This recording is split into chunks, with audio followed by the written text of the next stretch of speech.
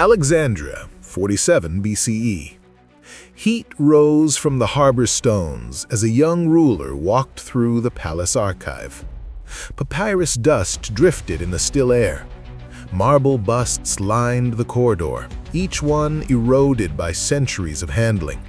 None carried her face, none agreed on her features. 2,000 years later, that absence persists. Painters and filmmakers replace the missing record with their own ideals. Pale skin, symmetric features, a face shaped by modern imagination rather than ancient evidence.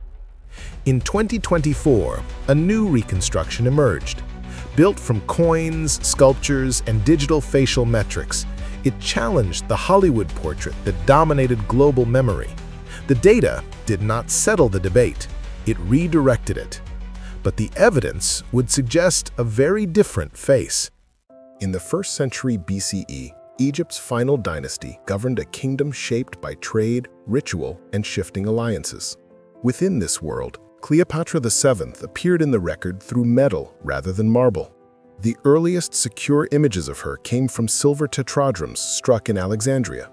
Their surfaces carried a narrow profile, a strong jawline, hooked nose, and tightly coiled hair rendered in deliberate curls.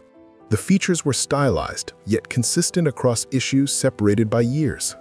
Roman engravers reproduced similar forms. Their dies often exaggerated the nose and chin, a practice common in political portraiture. Numismatists later cataloged these profiles and traced them through mint sequences, revealing patterns rather than certainty. The lines suggested a ruler presented with authority, not idealized beauty. Sculptures provided a second layer. A Berlin bust showed a rounded face with deep-set eyes. A Vatican piece echoed the same hairstyle, though softened by later restoration. Each object offered a partial truth, filtered through workshop tradition and the demands of royal image-making. Researchers compared these forms, marking convergences where independent artifacts aligned.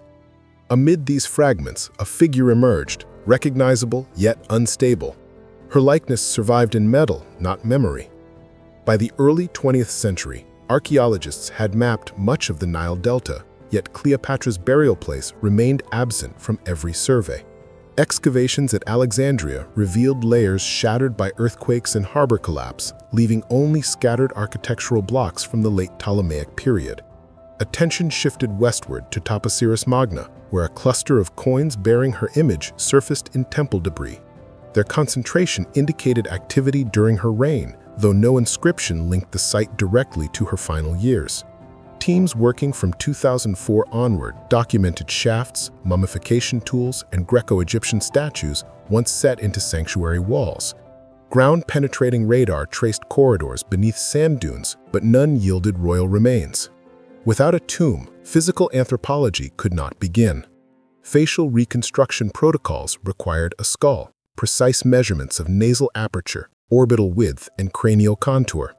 In its absence, only indirect artifacts could serve as guides. Digital artists therefore turned to sculptures and coins, treating them as bounded proxies rather than literal portraits. Each carried distortions shaped by politics, style, or damage. Analysts isolated repeating proportions across independent objects to narrow plausible facial structures, accepting wide margins of error. The search advanced through omission rather than discovery. Her absence defined the work more than her remains. By the early 20th century, Cleopatra's image had shifted from archaeological fragment to cinematic icon. Silent-era productions cast actresses with narrow features and pale complexions, reflecting studio norms rather than ancient evidence. Promotional stills fixed her identity within Art Deco aesthetics, dark eyeliner, sculpted silhouettes, and symmetrical faces fashioned to match commercial beauty standards. Over time, these portrayals entered museum displays and school illustrations, reinforcing a face shaped by film rather than artifacts.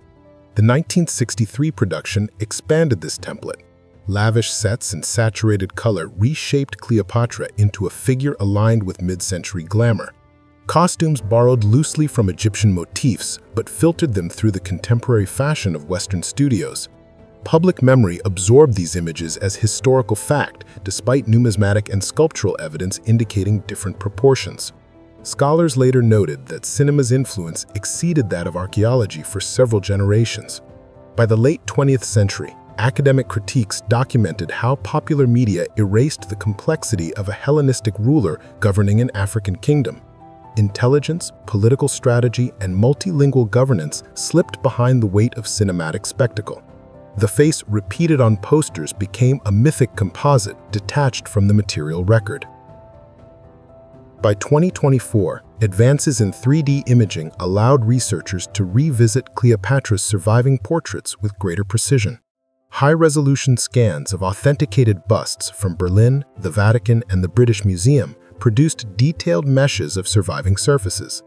Analysts aligned these meshes with proportional data from Ptolemaic royal sculpture, isolating measurements that repeated across independent works. Coins were scanned under raking light, revealing engraving strokes consistent with late Hellenistic die techniques. Together, these layers formed a constrained dataset rather than a portrait. Forensic artists approached the task through craniofacial mapping. Without a skull, they anchored their estimates to stable features, the pronounced nasal bridge, deep-set orbits, and the distinctive coiffure visible on multiple artifacts. AI-assisted tools averaged these proportions while filtering out clear stylizations introduced by Roman die engravers.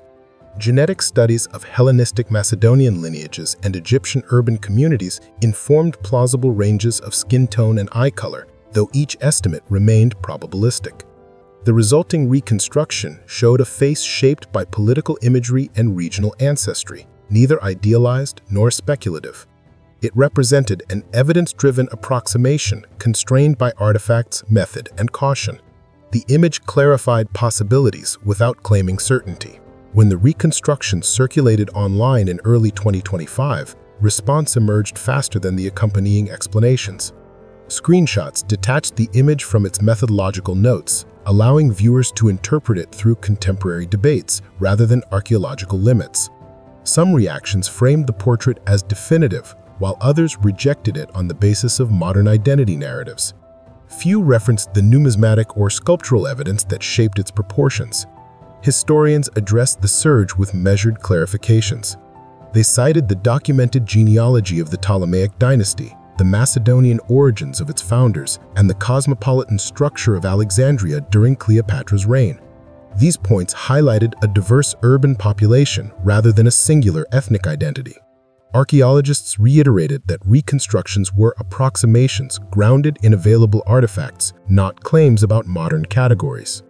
The conversation revealed a widening gap between scholarly nuance and digital discourse. Misinterpretations persisted as the image traveled across platforms. Edited versions softened features or altered complexion to match external expectations. Each variation distanced the portrait further from the evidentiary base that produced it.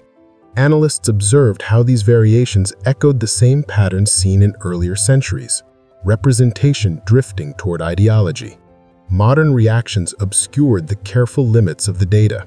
In the final years of the Ptolemaic kingdom, Cleopatra governed a territory shaped by shifting alliances, Roman pressure, and internal reform.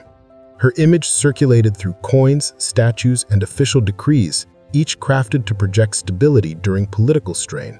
These objects formed the core of her visual legacy, surviving long after written accounts fractured into contradiction. Centuries of reproduction altered their meaning, yet the underlying features remained visible beneath corrosion and stylistic drift. Modern reconstruction reassembled these fragments into a cautious approximation. Digital tools highlighted points of agreement across independent artifacts, restoring proportional relationships that once guided palace workshops. The resulting portrait portrayed neither the cinematic monarch nor the idealized queen repeated in textbooks. Instead, it offered a ruler shaped by Hellenistic governance and Alexandrian culture, positioned between Macedonia, Egypt, and Rome. Historians treated this image as a prompt for reconsideration rather than a final answer. Her legacy extends beyond appearance. It lies in treaties negotiated, languages mastered, and political maneuvers documented in Roman histories. The search for her face became a search for accuracy itself, correcting layers of invention accumulated across two millennia. Evidence replaced expectation with measured clarity. Her likeness endures as inference shaped by fragments.